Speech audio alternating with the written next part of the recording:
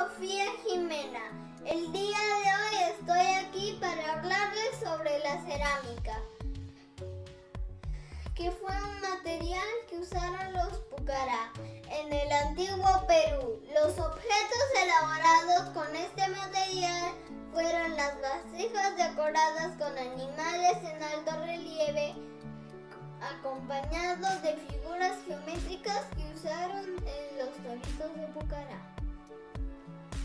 Su proceso de transformación fue el siguiente.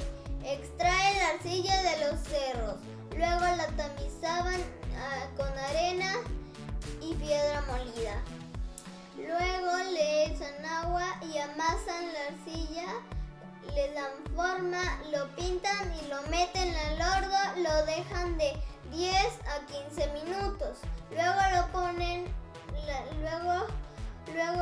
ponen la cerámica en algún lugar.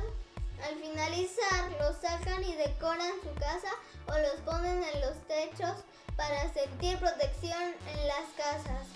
Un dato curioso sobre, sobre los toritos de Pucará es que tienen una asa arriba que representa la unión del hombre y la mujer en el matrimonio.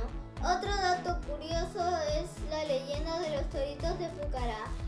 Cuenta la leyenda que en Pucará hubo una prolongada sequía, no había agua y los pozos estaban secando rápidamente.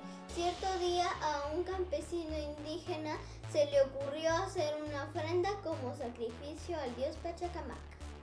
Decidió subir al peñón de Pucará llevando consigo un toro y hacer sus peticiones de lluvia. El toro al poner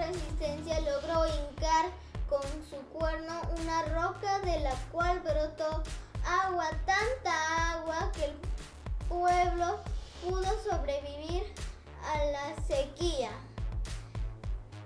Y así, aprendimos sobre los toritos de Pucará.